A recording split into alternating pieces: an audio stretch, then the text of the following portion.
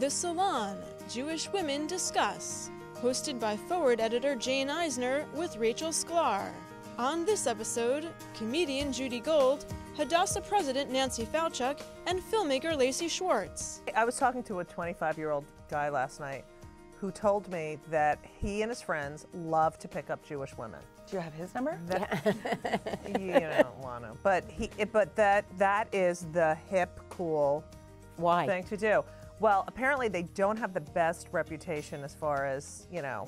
What? Yeah, that's what he said. He said That they get a lot of changed over the years. action. I'm not kidding. No, I've never heard such a thing Yes. ever. Mm-hmm. Even in my generation, I heard that.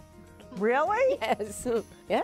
Jewish girls. Oh, were- look how quiet those everyone yeah. is right now. Yeah. And could Israeli supermodels be the new face of Jewish organizations? Here we are, 98 year old organization, and the image has always been it's your grandmother's organization. No, I have to say something. For my 40th birthday, my mother bought me a lifetime membership to Hadassah. Uh, now we And have a young, gorgeous what woman I in it. wanted. It is great to look like a Jewish woman right now. Jewish women are hot. Natalie Yes. Portman is the, in my Oh, opinion. she's so beautiful. She's beautiful. Smart. She's smart. She makes good And decisions. she's our spokesman. See? She is? She was born. said that She was born in Hadassah Hospital. Her, do- Barr husband, her father was a doctor there. Well, there you go. Yeah, There- see? Yeah, that- that is your ticket to the next generation. need to push Hadassah out further. 2.0. The arrest of a woman for wearing a prayer shawl at the Western Wall. I was appalled at the way she was treated. I was like, you got to be kidding me. Like this much for men and this much for women? Controversy over a breast cancer conference in the Middle East. Let me tell you what my big problem is with this. This becomes the conversation, not the 20 year olds with breast cancer, because this is a huge global problem. Playing with dolls made for Jewish girls. Rebecca, Rebecca Rubin is that her name? She, um, she's fabulous hair. I wish my hair was this shiny. I like those boots also. I Yeah. know. She actually, this she's supposed to be from turn of the century Lower East Side.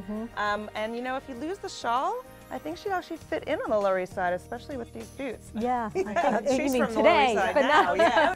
And the return of Sarah Palin. Well, I only know because I am a Jewish woman, and she, I, I, I find her abhorrent. It's I for like, politics, I think, that for Jewish women. I mean, the gun toting woman out, you know, uh, getting her kill is very hard for a Jewish woman to identify with. But I think the traditional idea of you know staying close to home, caring for your children, if if that is the traditional idea, she doesn't follow it at all.